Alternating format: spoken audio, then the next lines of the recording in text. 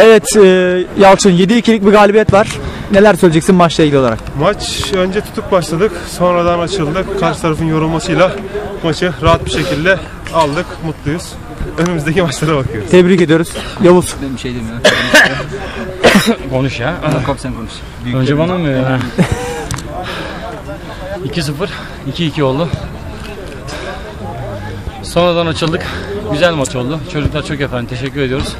Hatta Yavuz'a da attığı gol için hakikaten Evet. indirmeyi çok iyi yaptı. ve Belki haftanın en güzel gollerinden birini attı.